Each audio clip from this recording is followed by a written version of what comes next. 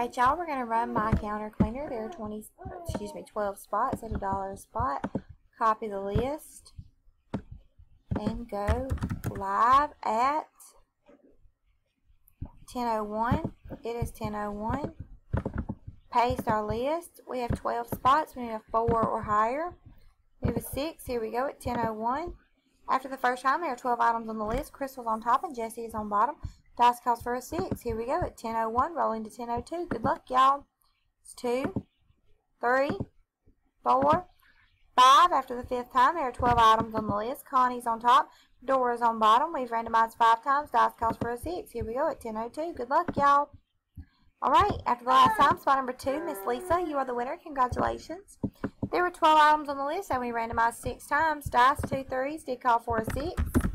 We are done at 10.02. It is 10.02. Congratulations to spot number 2, Miss Lisa.